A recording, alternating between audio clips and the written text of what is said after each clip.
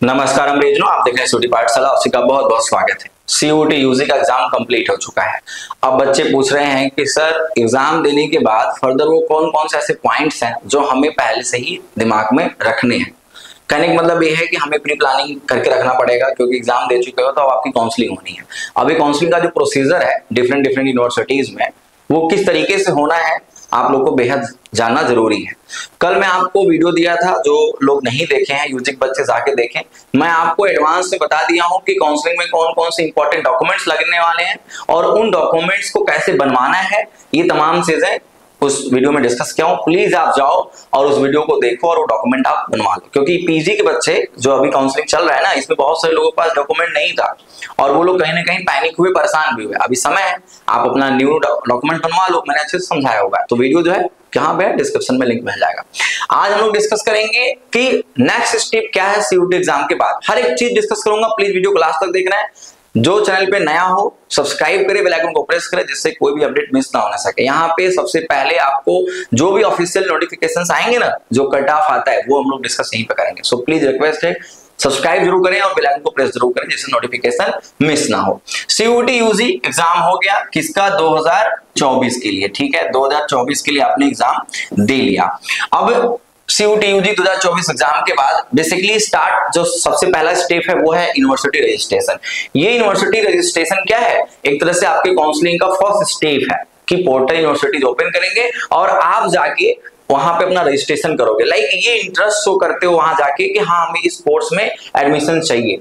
उसकी eligibility criteria के according ही आप ये कर सकते हो. जैसे कि मैं आपको एग्जांपल दूँ, आपको बीकॉम करना है या आपको बीएससी मैथ करना है या बीएससी बायो करना है तो फिजिक्स केमिस्ट्री बायो आपका ज़रूर होना चाहिए सीयूटी एग्ज़ाम में, ठीक है? यानी तीनों डोमेन आपका होना चाहिए। अगर आपने B L L B choose किया हुआ है बीएचयू के लिए तो लीगल जीटी और लैंग्वेज हिंदी इंग्लिश से कोई एक होना चाहिए।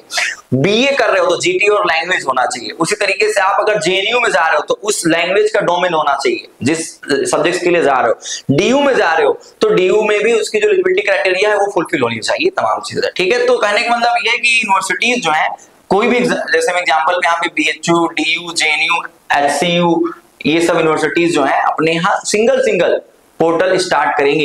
ये समय बदल भी सकता है। जैसे बीएचयू हो सकता है, आज मैं बीएचयू ऑफ़िस जाऊँगा, ठीक है? तो बीएचयू का आपको बता दूँगा। लाइक DU बड़ा जल्दी कर देता है तो उम्मीद करता हूँ कि वीक में वन वीक में DU जो है, कहीं ना कहीं अपडेट कर देगा कि यूजी पोर्टल कब से स्टार्ट करेगा अपने यहाँ। बीएचयू जेएनयू का पता करके मैं आपको बता दूँगा, ठीक है? अब जैसे बीएचयू के चार एफिलेटेड कॉलेजेस हैं, ठीक है? एक इनका एमएमबी है एक इनका आरजीएससी है। इस तरीके से इनके कई सारे रिलेटेड कॉलेजेस हैं। तो ऐसा नहीं है कि इन एफिलेटेड का अलग से एमएमबी में अलग से और आरजीएससी में अलग से काउंसलिंग करना है। आप भी बीएचयू का पोर्टल जब ओपन होगा तो यहाँ पे काउंसलिंग करोगे, अपने आप यहाँ पे एडमिशन आपको मिलेगा। जैसे डीयू में अप्रोक्स 69 कॉलेजेस हैं, ठीक है? अब 69 कॉलेजेस का कोई डिफरेंट डिफरेंट रजिस्ट्रेशन प्रोसेस नहीं है। आप डीयू के पोर्टल पे जाकर रजिस्ट्रेशन करोगे और आराम से यहाँ पे जितने कॉलेजेस हैं टॉप से लेके बॉटम तक आपको मिल जाएँगे according to the your merit marks के अकॉर्डिंग उसी तरीके से जेएनयू का सिंगल कैंपस है तो जेएनयू में पोर्टल ओपन होगा, आप रजिस्ट्रेशन करोगे, वहाँ पे मिल जाएगा. कहने का मतलब ये है कि जो टॉप जो फाइनली मेन ब्रांच होता है, उन्हीं की ऑफिशियल वेबसाइट जो है, वो अपने यहाँ पोर्टल ओपन करती है और वहाँ जाकर रजिस्ट्रेशन करते हो और उससे रिलेटेड जो भी कॉलेज होते हैं आपको मिल जाता है. तो आपको ये ध्यान देना पड़ेगा कि आपकी जो चॉइसेस ऑफ़ यूनिवर्सिटीज हैं, जैसे आपको इलाहाबाद जाना है तो इलाहाबाद के पोर्टल पर अपडेटेड रहना पड़ेगा. बीएचयू जाना है तो बीएचयू के पोर्टल पर अपडेटेड रहना पड़ेगा। अगर आपके पास समय नहीं आपको नहीं समझ में आ रहा है, आप मेरे वीडियोस देखोगे तो मैं आपको खुद ही बता दूँगा कि हाँ भाई, देखो, इसका पोर्टल स्टार्ट हो चुका है, इसका इन डेट ये है करेक्शन विंडो आ गया है, ये तमाम चीज़ें। और फॉर्म भरने के बाद, यानी यूनिवर्सिटी रजिस्ट्रेशन जब हो जाता है तो आपको थोड़े दिन वेट करना पड़ता है। और थोड़े दिन वेट करने के बाद, जो बच्चे उस यूनिवर्सिटी में गए हैं, जैसे बीएचयू में आपने अपनी काउंसलिंग कराई, ठीक है? अब बीएचयू में जो बच्चे रजिस्ट्रेशन कराए हैं पर्टिकुलर एक कोर्स हम लोग ले लेते हैं, और वो कोर्स कौन सा है? वो कोर्स हम लोग ले लेते हैं बीए ठीक है? बीए के लिए जैसे बच्चे यहाँ पे आ गए अब बीए में बच्चे कितने आ गए लगभग सपोज़ चालीस हज़ार, ठीक है? फोर्टी के बच्चे आ गए अब इन फोर्टी के बच्चों का क्या बनेगा? मेरिट बनेगा। इन चालीस हज़ार बच्चों का मेरिट बनेगा। अब सपोज़ इनके यहाँ पंद्रह सौ अप्रोक्स एफिलेटेड लेके तीन हज़ार मोटी मोटा मान लेता हूँ कि सीट है। कितनी सीटें हैं? थ्री के। अब ये तीन हज़ार सीट के अकॉर्डिंग यानी रिजर्वेशन के अकॉर्डिंग रिजर्वेशन के अकॉर्डिंग ये लोग क्या करेंगे? टॉप टू बॉटम आपको सीट देते जाएँगे, ठीक है? पहले नंबर पे, दूसरे नंबर पे, तीसरे नंबर चौथे नंबर पे। कहने का मतलब ये है कि यूनिवर्सिटी रजिस्ट्रेशन के बाद, थोड़े समय के बाद, ये बीएचयू जो है, वो अपना क्या रिलीज़ करेगा? अपना कट ऑफ़ रिलीज़ करेगा, ठीक है? और इसी कट ऑफ़ की बेसिस पे आपका एडमिशन होगा। इस प्रोसेस यानी ये यूनिवर्सिटी के जब कट ऑफ़ आ जाता है तो इसके बाद का प्रोसेस जो है, ये भी मैं यहीं पे लिख देता हूँ। और वो क्या है? आपका कोर्स अलोकेशन ठीक है? कोर्स अलोकेशन कोर्स अलोकेशन जो है, इसी के बेसिस पे आपके कोर्स डिसाइडेड होते हैं। और यही बगल में आपका फ़ी का एक ऑप्शन होता है, और जैसे आप फ़ी पेमेंट करते हो, आपका फाइनल एडमिशन हो जाता है।